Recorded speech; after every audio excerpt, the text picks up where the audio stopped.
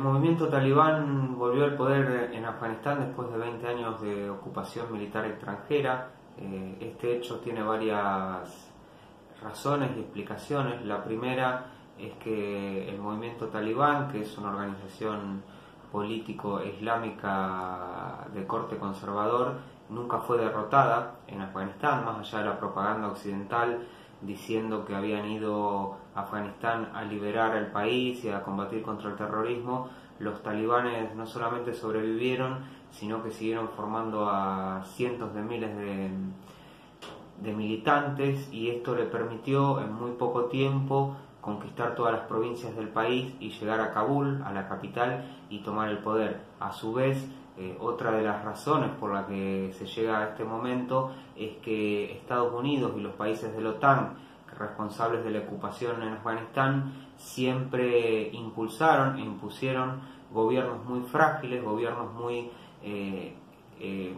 que no incluyeron a todas las nacionalidades que, que viven en Afganistán y con graves hechos de corrupción, no solamente de los gobiernos nacionales afganos, sino también de las propias tropas de ocupación. Eh, al mismo tiempo, tanto las tropas de ocupación como las fuerzas del gobierno eh, eh, son acusadas y fueron acusadas de manera reiterada por graves violaciones a los derechos humanos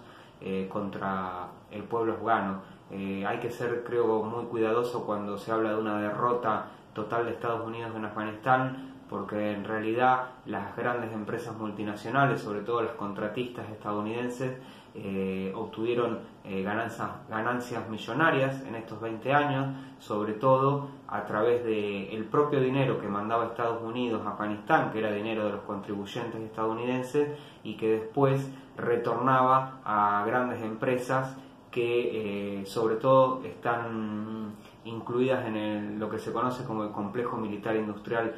estadounidense. El futuro de Afganistán ahora es eh, un poco difícil predecirlo. Lo que quedó claro es que las grandes potencias y también potencias regionales como Pakistán, que históricamente fue un aliado de los talibanes,